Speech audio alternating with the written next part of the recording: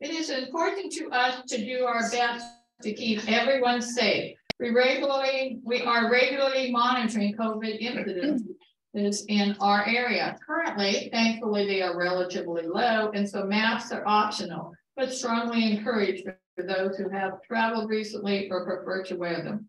Should the incident rate move out of the green safe zone, we'll be sure that it, we hope it doesn't happen we will resume the policy that everyone except those with medical conditions should remain masked in our services. Masks are available for anyone who needs them. We are ready to begin our service, so please grab a seat, silence your cell phones, and come to stillness so we can begin the recording.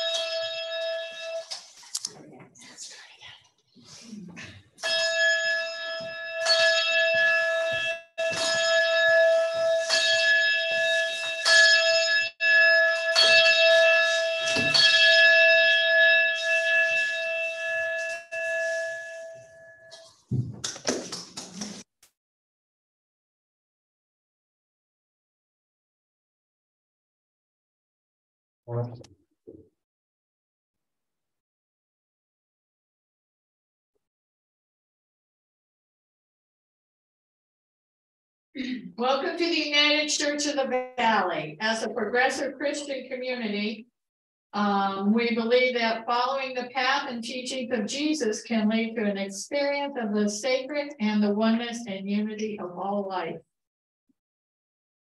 By now, you probably realize that UCV isn't like most churches. We proudly, we're proudly just a little bit different. We are a congregation as unique you. Not only that, UCVers embrace what makes us each different. UCV is a community in which individuals can live out their inner callings to a variety of ministries. Some collect school supplies for foster children being serviced by Walden Family Services. Some collect supplies to help combat homelessness, supported by the Southwest Action Group. Some raise money for the international relief efforts in Chacraseca, Nicaragua. Some participate in difficult questions group to explore those questions and ideas that may not always be comfortable. Some help plan and lead worship. Some organize our garage sale, while others work with summer camp at Pilgrim Pines in Yucaipa, California.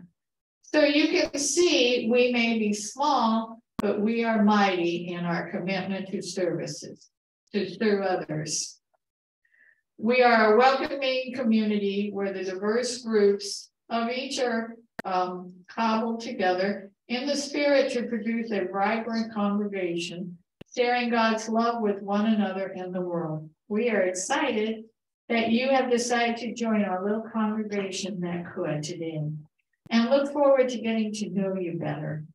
There is always a place for you in if you feel like the desire to participate.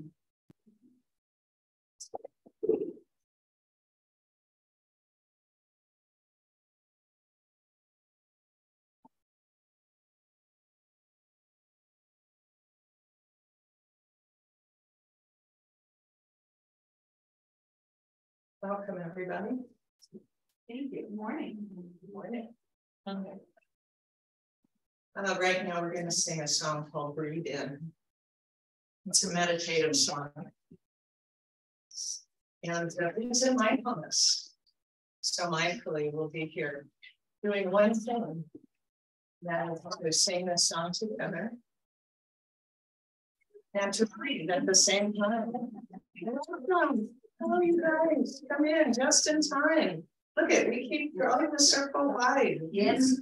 Let's draw the circle wider still. Let's have everybody with us.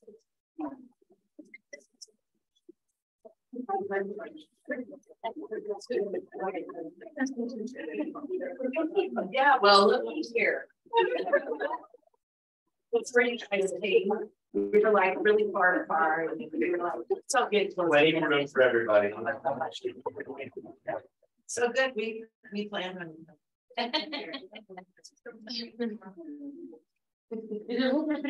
Yeah, you can guys sit down. and then if you feel like it's more. Hey, honey. I'm gonna still you. It's real. yeah, so Danny, Mike, Yeah. Hi, honey. How you feeling? Thank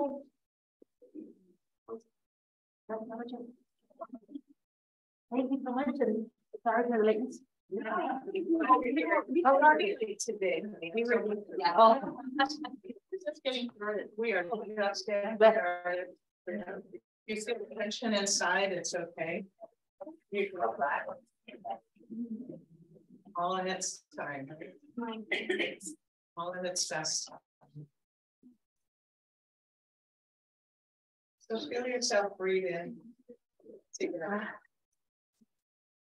And breathe out. And when you breathe out the next time, just feel your shoulders relax just a little bit. And maybe your neck can relax. Nothing to do, nowhere to go. But to be here right now. And together we just call on all the, all the many names of God. And that love may be here in our midst.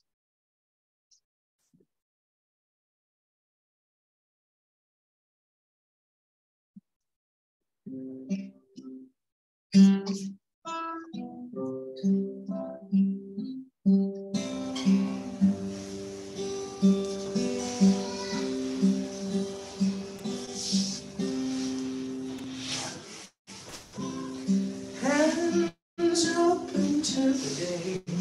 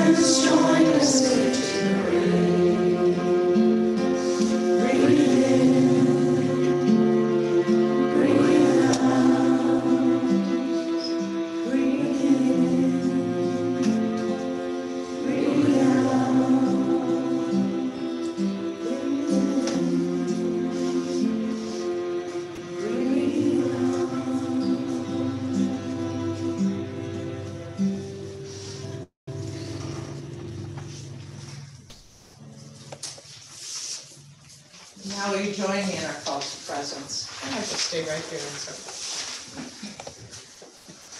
We breathe in acceptance and breathe out fear. making space for all of us to be here. We breathe in love for our hidden, dark, and quaking places. We breathe ease into tightness and light into the shadow. We breathe in divine presence and we let go of any obstacles we can. We breathe to small and deep into the center of our being and breathe out. We breathe in power, strength, courage, and the willingness to say yes to life. Not a situation to be, but as it is.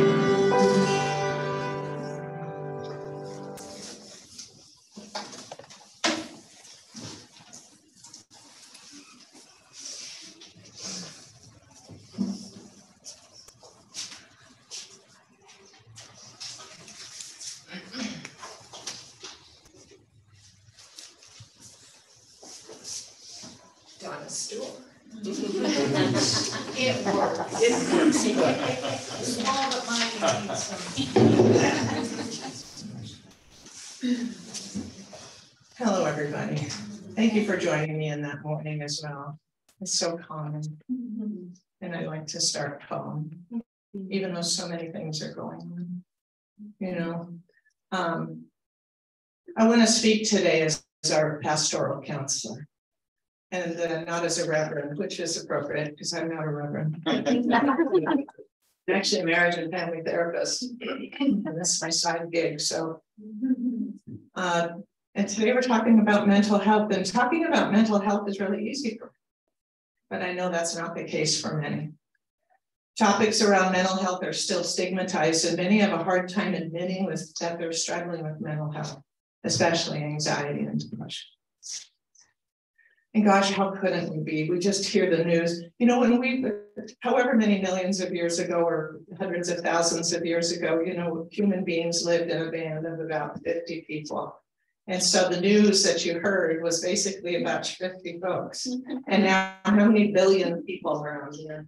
And then we share in the hard news of billions of people. And that's hard. It's hard to manage.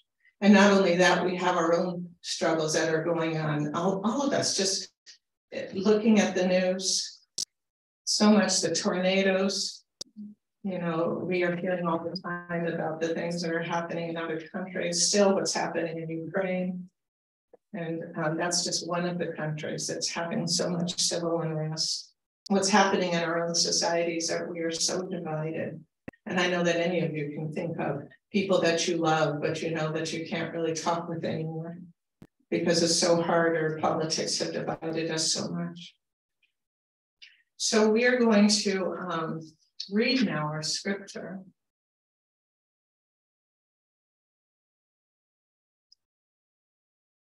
And it comes from Luke, verses 12, 22 to 32. And he, meaning Jesus, said to his disciples, Therefore I tell you, do not be anxious about your life, what you shall eat, nor about your body and what you shall put on. For life is more than food, and the body more than clothing. Consider the ravens. They neither sow nor reap. They have neither storehouse nor barn, and yet God feeds them. Of how much more value are you than the birds? And which of you, by adding anxious anxiety, can add a cubit to your span of life? If then you are not able to do as small a thing as that, what are you anxious about the rest? Consider the lilies, how they grow. They neither toil nor spin, yet tell you, even Solomon in all his glory was not arrayed like one of these. But if God so clothes the grass, which is alive in the field today and tomorrow is thrown into the oven, how much more will God clothe you, O you of little faith? And do not seek what you are to eat and what you are to drink, nor be of anxious mind. For all the nations of the world seek these things, and your God knows that you need them. Instead, seek the kingdom, and these things shall be yours as well. Fear not, little flock. Is your God's good pleasure to give you the kingdom. Hmm. Amen. I love these verses. God cares about us even more than the birds. And this is indeed truly beautiful to think about. However, we have this way of turning beautiful messages against us. And friends can do the same thing. You admit that you're depressed or anxious, and some well meaning friend will send you a Bible verse, perhaps this one. And then we feel guilty for our overwhelming feelings. It's just best to keep them to ourselves, we think. Or better yet, let's just deny that we have them. How many times have I heard someone say, I feel depressed? And I look at my life and I say to myself, I have no reason to feel this way. Well, let's just put that one to rest. Because if you're feeling a certain way, there is a really a, a real reason why you are feeling that way. I promise. You just may not understand why at that moment, but there is a reason and not one to be invalidated. And let's bring up one reason that we all have. COVID 19 has brought some pretty major changes to how we've lived our lives. We've just been through a major time of uncertainty and alteration of daily routines, financial pressures, and a requirement of social isolation like we had never experienced before. And in spite of our best efforts, many of us caught COVID. Anybody here not COVID? Yay! And even though the infection cleared months ago, or for Ruth, you know, an hour ago, something doesn't feel right. You may still have some physical symptoms lingering. You may find yourself struggling, struggling with seemingly easy tasks. You may experience fatigue that makes moving from the bed to the kitchen feel like an enormous accomplishment. Or you may have a feeling of dread a nervousness, you can feel your heart pounding, maybe constant worries that keep you from sleeping at night. Anybody experience that? Look, at no one wants to admit. it's okay, guys. We can admit. it. That's all right. You're not alone. And we know that the pandemic has significantly affected our mental health isolation, loneliness, unemployment, and the loss of people we love. The prescription of antidepressants has spiked. Intimate violence has increased, intimate partner violence, and suicidal thoughts are on the rise, especially in young adults. Thank you, Ruth, for the slides that you put up there today that had some of those statistics in there.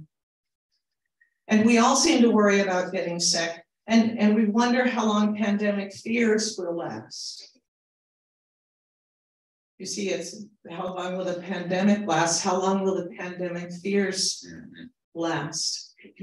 Information overload, rumors, misinformation can make our life feel out of control and make it unclear what to do.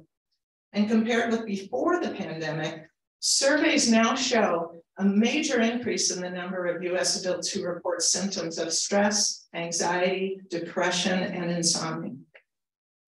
Some people have increased use of alcohol or drugs, thinking that can help them cope with their fears about the pandemic. Maybe for a moment, right?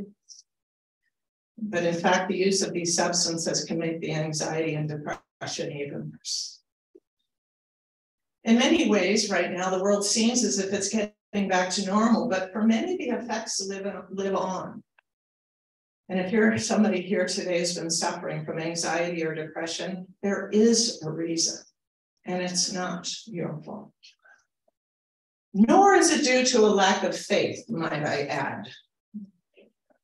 Oh, ye little faith. Slappy little sentence. Here's a little known fact. My great uncle was a bona fide faith healer and tent evangelist. Praise the Lord. Jack Coe was an American Pentecostal evangelist, nicknamed the man of reckless faith. He was one of the first faith healers in the United States with a touring tent ministry after World War II. My great, my, what is that? My great uncle. He knew Oral Roberts, little name dropping. And he was so impressed by the size of Robert's revival tent, he actually went to one of Oral Roberts' tent meetings to measure it, and then he ordered a larger one. Don't. That's just a little fun fact. And I bet if he couldn't heal you, you know he would just turn it right around and blame it on you. It's just a common wrong idea that our lack of faith keeps us sick. It's no wonder that we walk around with guilt because we're sick, depressed, or anxious. There's hardly any other thing that gets my ire up as to when someone is given a misunderstanding that if you had enough faith, you'd be cured of your physical or mental illness. Some people use these beautiful scriptures in the Bible to battle us. Anyone been beaten with this one? Sometimes it feels like that, doesn't it? How about this one? If you have the faith of a mustard seed, you could tell this mountain to get up and move, and it would move. Give little. This has been used to make us feel terrible As if being sick is our fault and is due to us not having enough faith to make ourselves well. And I do believe this is an immature understanding of this scripture. You know, if everybody prayed for a green light, we would be in a world.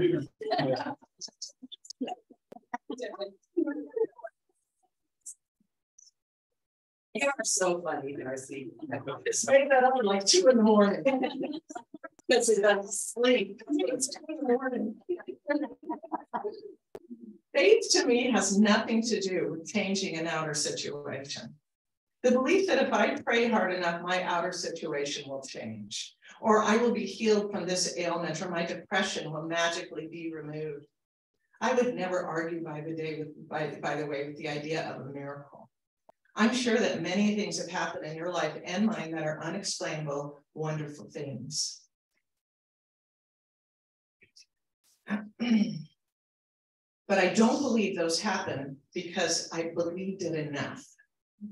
I did not will it into existence. Faith has to do with outcomes that are beyond my control. Faith is not that I believe that I would make a mountain stand up and move. It's the idea that if the mountain didn't move, that that must be the way it ought to go. Faith to me means that whatever the outcome, I can believe that it is what needed to happen in order for the greatest good to be done, not just for my life alone, but for the good of all. And when there is an outcome that I don't like, it would be natural for me to feel very sad about that. However, it is not a betrayal by God. And it doesn't mean I didn't pray hard enough. Oh, ye of little faith is meant to prompt us from having just a little faith to an expansive, mature faith, which means that I trust that all outcomes are being managed by a power greater than mine, a power that's based in love. And that just fits better with my idea of a loving God, way better than the idea that I need to be ashamed of my physical or mental illness that wasn't magically healed. When we're suffering, we pray for healing, and we're more likely to heal when we believe we are loved rather than we feel ashamed. And shame, by the way, grows in secrecy and in silence. And it has a harder time growing in an environment of empathy. So if you suffer from physical or mental illness or addiction, we douse it with empathy and we share it with those who have insight and can respond with compassion. And we watch the voices in our own head and we talk kindly to ourselves as if we were talking with someone we love. Just know that a well lived life has both pleasure and pain in it. And sometimes, sometimes we just don't feel good.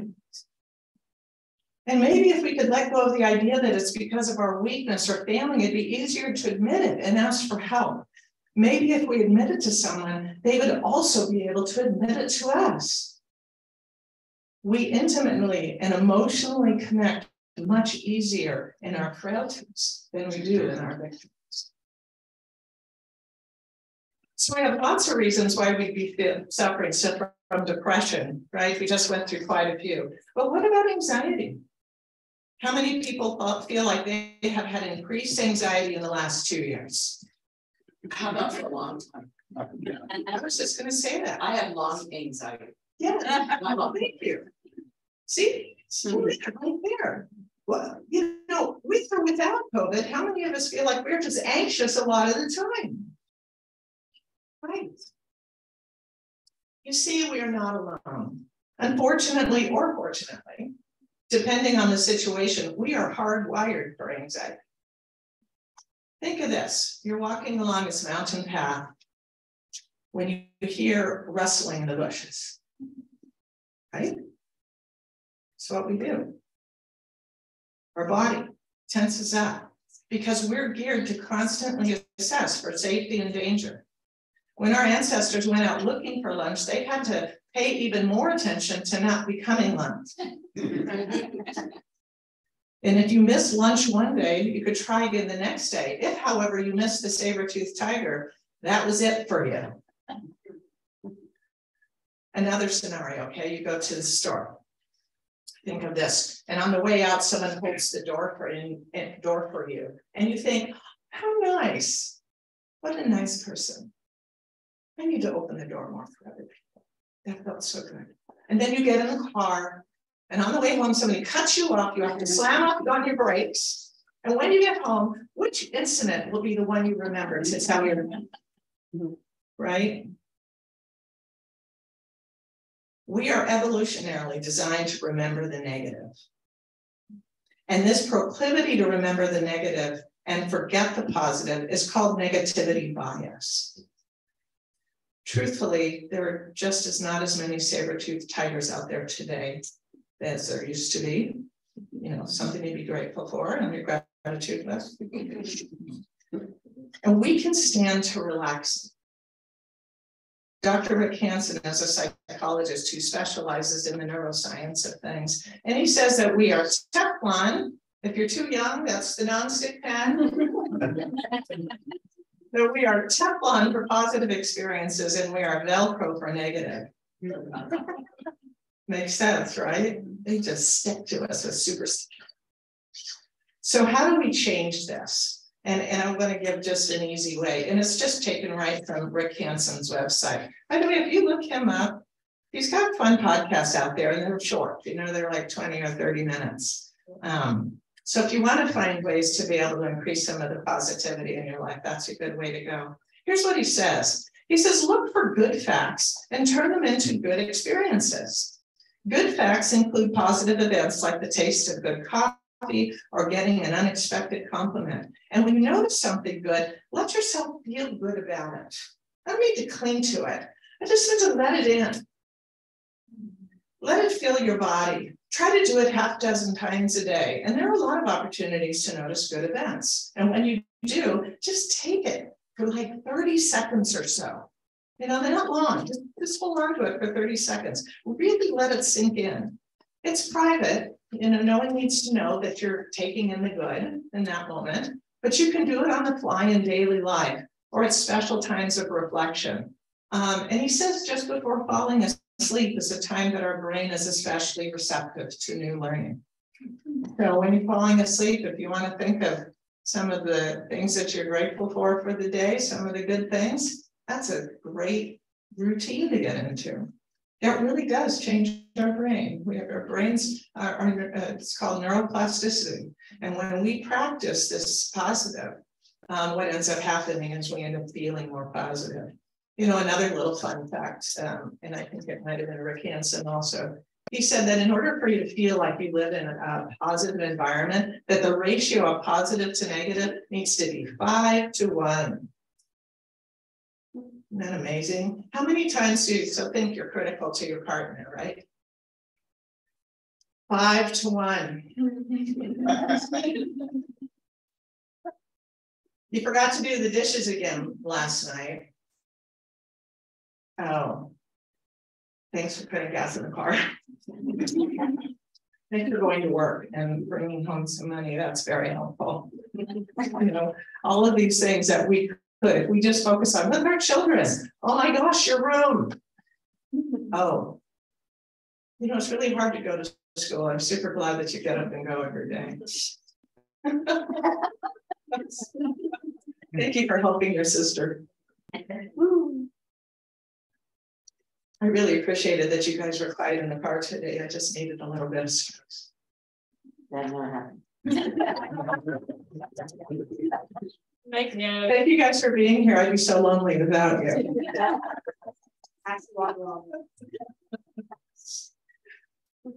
All right. Another way to do this, by the way, is with the practice of mindfulness. It's why I love starting church with this song we did with Breathe In. Just do one thing and put your whole focus on that thing and do it without judgment. Pause. No, really, right now, let's just pause. Just stop. Feel your shoulders. Are they tight? Are they up around your neck? Feel your neck. Is it tense? Feel your face. Notice your breath. And here we drop in 10 seconds right into now. And now do an experiment with me, everybody. Put your hand out just like this. And don't look at your hand. It's there. And without looking at it, just try to feel the sensations in your hand. You will feel pulsing, maybe some tingling. Maybe you can feel one or two fingers more than the other. You can feel the air on your hand, perhaps.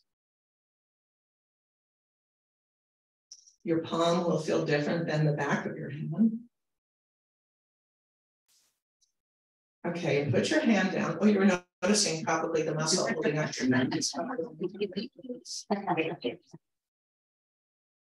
you notice that the whole time that you were in your hand, you were not in your head? Mm-hmm. Mm. That is a, just a magical thing. That the whole time when you drop into your body and you feel it, whatever story we're spinning in our head we'll just be on just for that moment. And that's what we practice little moments at a, at a time. Anxiety will drop. There's a rule out there, it's called the 90 second rule, that if uh, it, it, was done at, um, I think it was UCLA, um, but what they did is they put an MRI and, uh, and looked at somebody's brain stuff going on and worked them up until some story, anger, whatever big emotion there was. And then they said, okay, now drop in your body and just feel the symptoms right now, your physiological symptoms in your body and name them. Oh, Chest is tight. My stomach feels sick. My throat is tight. My pits are sweating. My hands are tingling. And then when you notice and drop in your body, what ends up happening is all of this calms it takes 90 seconds for those chemicals in our brain to calm down. And then I promise you, 90 seconds later, it may not have solved your problem, but I bet if anything, you'll be approaching whatever it is differently. And most likely better, more effectively. And I want to tell you that if it's harder to you than this, and if this did not help, and if your mind did not stop, don't feel guilty and don't blame yourself. These suggestions can be helpful, but sometimes they're not. And if they aren't, there are other ways. And just know that physiologically, there's a reason for you to feel the way you do. It's okay. Just talk about it, and you'll find that you're an ally. And what about sadness? How do you know if you're sad or depressed? Isn't it normal to feel sad? Well, sure it is. And generally, sadness has some type of a reason we can point to. When we experience loss, we will feel sad. And when we lose someone or something significant, we will feel grief. And many of us have lost loved ones in the last few years and are grieving or have been through grief. Usually, the symptoms will show improvement after about six months and with most of the symptoms resolving within one or two years. I just want to give you a baseline, you know, but not everybody is the same. Sometimes more, sometimes less. There's no right way, but it's kind of nice to know the baseline because if you're feeling stuck, you want to know, you know, because grief can turn into depression. So I want you to watch for these symptoms in yourself in your family and in your friends. Feelings of emptiness or hopelessness. Loss of interest or pleasure in most or all of your normal activities. Sleep issues like insomnia or sleeping too much. Tiredness and lack of energy, so even small tasks take extra effort. Feels like walking through molasses changes in weight, either a reduced appetite and weight loss or increased food cravings and weight gain, both. Mood changes like increased anxiety, agitation, or restlessness, irritability, outbursts of anger, and watch for that in the children because children show depression through irritability.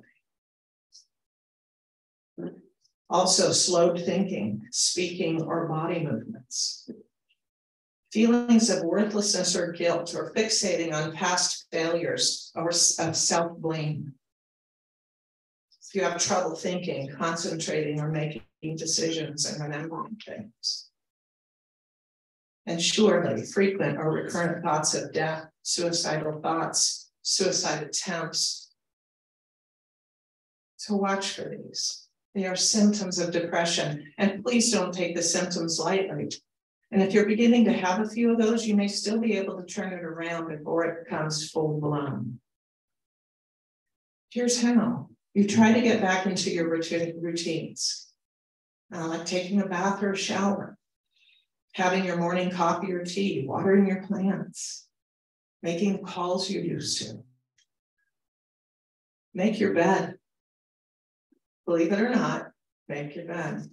A study was done that uh, just that was the only change that was made for people who were depressed is get up and make your bed after six weeks improvement. That's on that one. Get outdoors, exercise, start a morning routine that includes some form of spiritual study, prayer, and meditation. Practice gratitude as you're able to. Another thing that people can beat us with. Depression will have a hard time growing in an atmosphere that includes these things. And if you're unable to do these things, do not feel guilty. It is not your fault. Depression hits motivation. And when we become wounded in those areas, it's hard to change.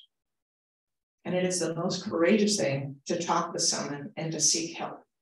Tell a friend, find a therapist, talk with your doctor. Maybe an antidepressant would be a good choice. Sometimes that helps kick up the motivation to be able to get back into routines and healthier behavior. You are not failing when you ask for help. So just rounding up you guys, anxiety and depression, it just kick us out of the knees. And sometimes life just gets very hard. And if you're having a hard time, please reach out to your beloved community here at UCV. Be loved. Allow yourself to be loved. Amen.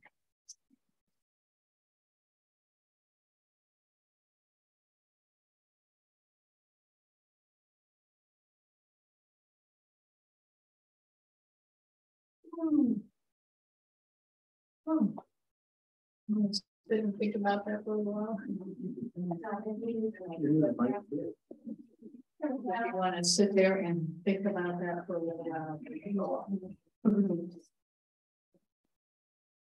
At the United Church of the Valley, we seek to be inclusive of all people. We strive for peace and justice among all people. We strive to protect and restore the integrity of the earth. We commit to a path of lifelong learning, compassion, and love. We invite you to be part of this mission. We thank you for your generosity. There is a collection plate on the organ here. Um, for those here in um, person, and of course, all of us can make a donation by going to our website, ucvchurch.org where you will where you can use either Venmo or PayPal. Of course, you can always mail checks to our mailing address.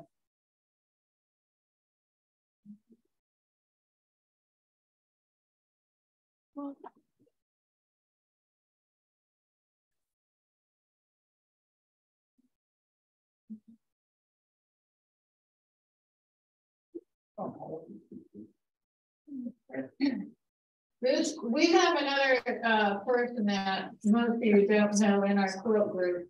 It's Mary Martinez. And I think I, I think I met her at Joann's.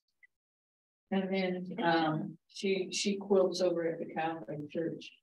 And uh, anyway, she made this quilt for her friend David Rotherman, and that's her daughter-in-law's um, father. He had back surgery a few weeks ago, and he's been a highway patrolman and pilot, and um, kind of wrecked his back. But anyway, she made this, so we want to say a prayer. I'm going to turn the other side to it, so I agree. And what we'll do, we'll put it over, we'll move the candles with things and um, put it over there. And after church, please tie it and say a prayer for this for David, and then I'll take it over to her later this week. Let us pray.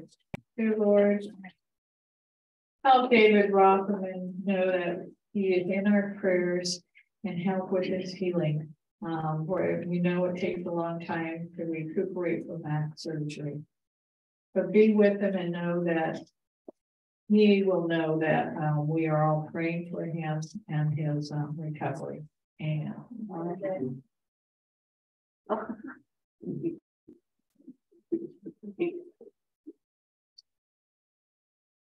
Okay, we're gonna do joy and concern. In our beloved community, people care about one another and share their joys and sorrows and concerns.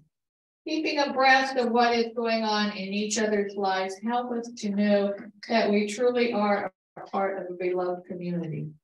Every week we gather the joys and concerns of our community through email so we can share them together today. They will be shown on the screen as I read them aloud. After each joy or concern, I will say, Together we pray, and you will respond, Hear us, O God. Ongoing prayers for the Hayden's friend Jennifer, who is continuing her cancer treatment. Here's. The, Mhm. the update on that is not, not good. It switched from Kaiser to UCSD. Uh, at first, things were moving along.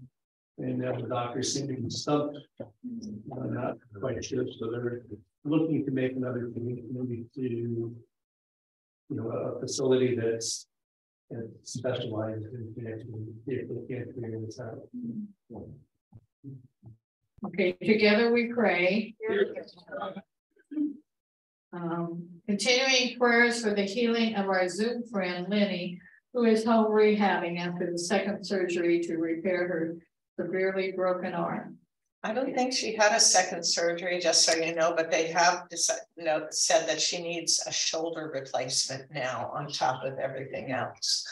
So, um, the, the thing was that they put the screws in her arm to fix the, the, her arm. But osteoporosis has the screws just came out, and so now they're going to be replacing her shoulder. So it's just, um, just keep her in your prayers. Together we pray.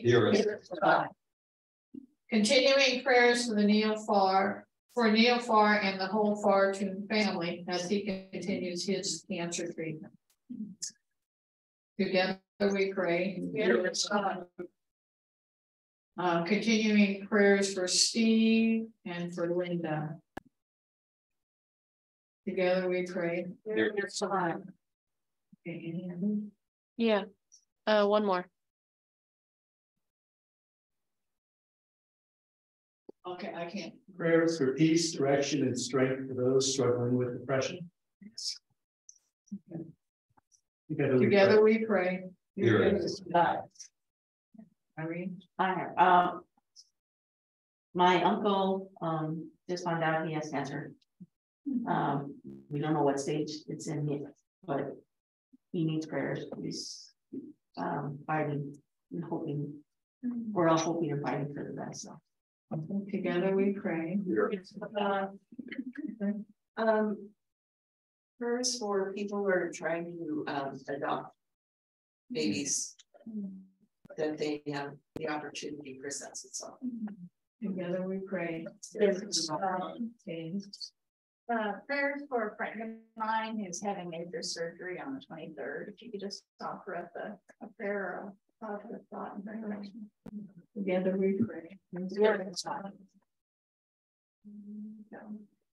Prayers for um our um her uncle, they found out some stage four cancer and the morning care didn't let them know, so he's dying, this is the very last stages, now I'm sad. So Prayers for them. so. Together we pray. So the school at which I teach, uh, this past week had a second, not quite a lockdown situation, but a shelter in place. Uh, uh, again, just like the first one, it was maybe three weeks ago. Uh, it was students making threats on social media. Um, so there's a lot of, you know, there's a lot of pain out there, and a lot of fear and anxiety. For our whole Bell Mountain Middle School community. Prayers. Together we pray. Man, Um, first for a peaceful election uh, and I'm following it that we can um, keep our democracy peaceful and thriving. together we pray. My friend from high school, um, close friend Cheryl Joe, she had knee surgery, I think in May. But she had, she, the knee is okay, but she still doesn't feel good. They found something in the lungs, but they don't know what it is yet. Yes. but together we pray. And Anybody online? Yeah, right here. Um, was gonna say the thing about the election too next week, but, um. I'm driving up to see my uncle and aunt for Thanksgiving. And, um, my dad, who was one town over, hasn't spoken to me in two years since I came out.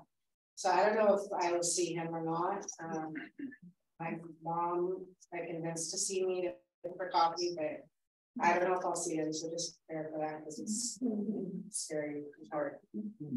Together we pray. Lori, Yeah, um, Thanksgiving for, um, the fact that Fred is improving and has been moved to a rehab facility in, uh, Murrieta. And prayers that he's going to settle in there and, uh, improve rapidly and gain as much strength back as he can and. See where he is able to, uh, live on an ongoing basis. And together we pray. I have a joy, um, so a you know that I started a new job or an after school pro- pro- program. And we had our first two full days with kids. Um, and it was so much fun. It was, I nearly did me in, but uh, it was so much fun. We took the kids to the zoo. We took them to safari park. We had annual activities. We had a reptile guy out. And um, kids who'd never gotten to, you know, do those things before got to do that. And everyone came home safely. Um, even though I forgot the medication school and the assistant principal had to drive out and bring them to. Everyone survived and had a great time. And um, I'm just so grateful to be honest. It's a joy. Together. I want to let you know, my nephew. It's been almost a year since I lost my brother, but his nephew is. The, a family that was excluded from him because of my brother is now to, you know, talking together and helping him out because he really needs help and. Trying to find assistance for him, someone coming in to make sure he's doing okay, because he has a learning disability, but he's not, he can live with his girlfriend and stuff, but they still need extra help, so we're trying to find that, but the family's coming together with, uh, another family and his girlfriend's family. So that, that's a happy thing, together we pray. There's, uh, Yeah, um, Steve and Lenny say thank you. And Jen says concern, my nephew by choice was in a terrible accident last Friday. Who is that? Jen, Jen Jen's nephew. Okay. was in a terrible accident last Friday. His wife will be having the life support machines turned off this afternoon. Please keep the entire family, especially his two young daughters in your prayers. Together we pray. Edna says buy raffle tickets. And I have all the things. is that a joint concern? Yeah. It's a commandment. It will be a joy because it helps finance our jobs there. And to the prayer group, you know, to, to give quotes to these people that, you know, to help them know they're, they're not alone. Mm-hmm. So it's a joy. Mm-hmm. And together Okay,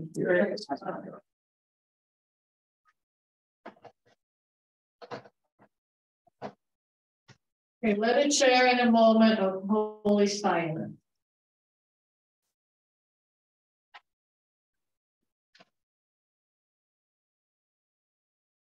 No matter how we understand prayer, we find that it is good to pray. Together we hold these names and words, spoken and unspoken, in the spirit of concern, a spirit of joy, a spirit of connection, and now in a spirit of prayer. Oh, great love, thank you for living and loving in us and through us. May all that we do flow from our deep connection with you and for all beings. Help us become a community that vulnerability um, shares each other's burdens. Listen to our heart's longings for the healing of our world. We offer these prayers in all the holy names of God. Let us pray together in one voice the prayer Jesus taught us, taught his disciples, first in the common wisdom that connect us to our grandparents and great grandparents. And then let us pray in other words and that speak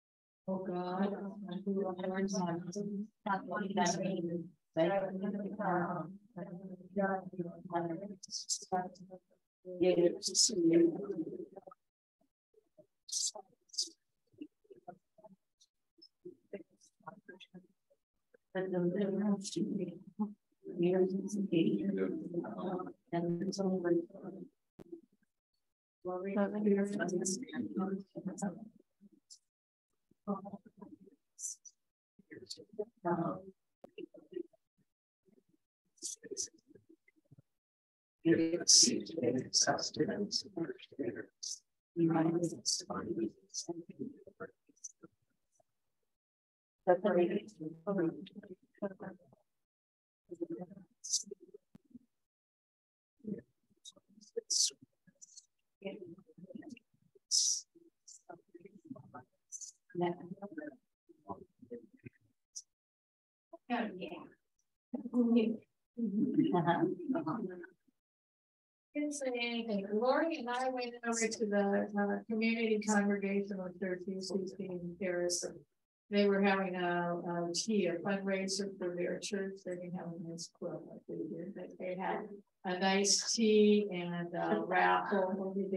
And it was fun to see our sister church that now supported us and supported our camp all these years.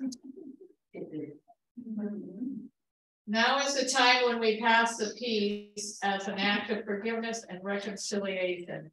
Jesus told his disciples that before they come to be reconciled with God, they should be first reconciled with one another. And so during this time of sharing God, Christ's peace, you are encouraged to seek and to offer forgiveness. When we turn to those around us with the greeting, may the peace of Christ be with you, respond and with you also. We symbolize our unity even in the midst of division. When we pass the peace, we practice God's call to make every effort to maintain the bond of peace. Let us wave our peace to each other. May the peace of Christ be with you.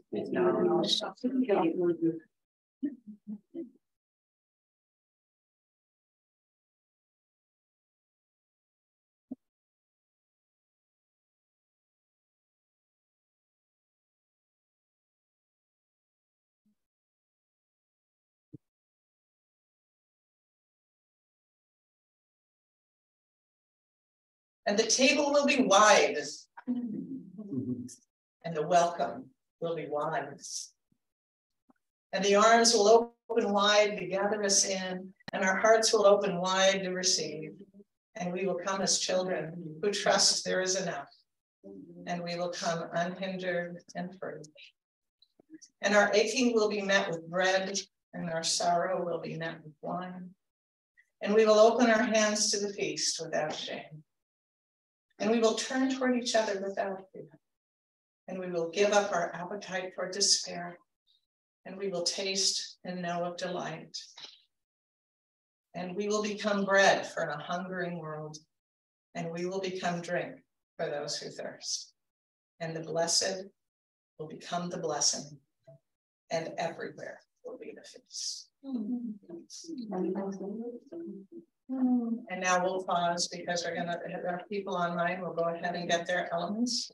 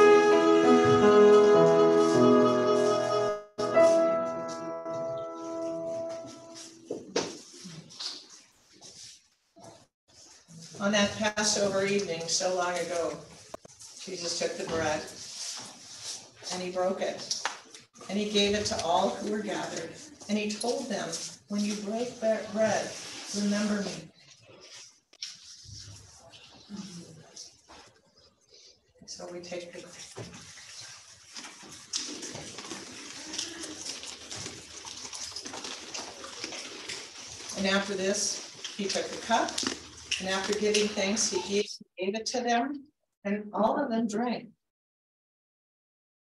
Thus beginning a new covenant of love. And together. Okay.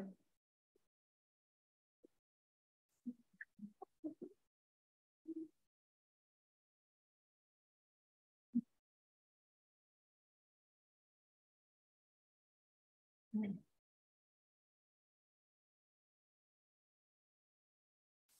And let's say together our unison prayer. Holy God, we have eaten the bread. and drunk the wine. We have been touched by your spirit and we are there. Still speaking God, as we go from this place to be your church in the world. May the boldness of your spirit transform us. May the gentleness of your spirit lead us. And may the peace of your spirit upon us.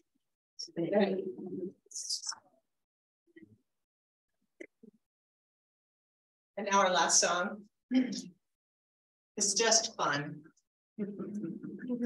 And it's um, and it's easy. So hopefully you will just catch on and sing along. Man, I'm thankful to Jamie for introducing me to this song. I asked him first, he could come and play this for us, but he couldn't come this week, so. We are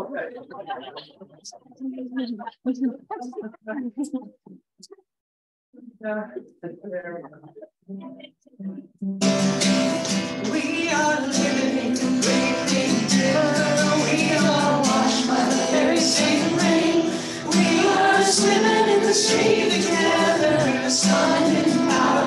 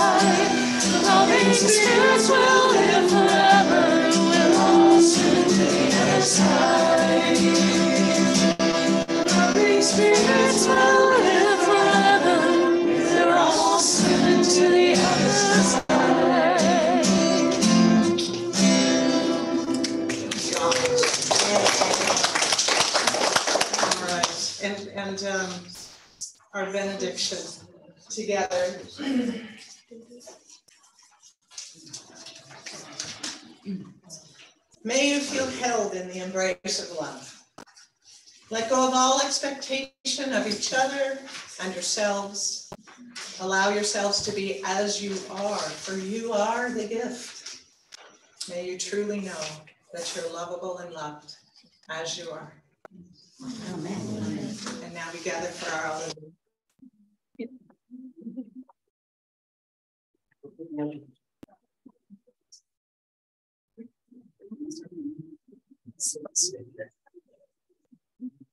Thank you. I could read something that I'm very because dear fellows. Well, then they don't have a look there. Okay, we're good. All right. All right.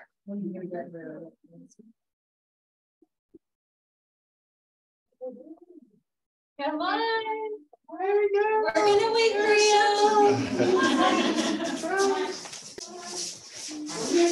you.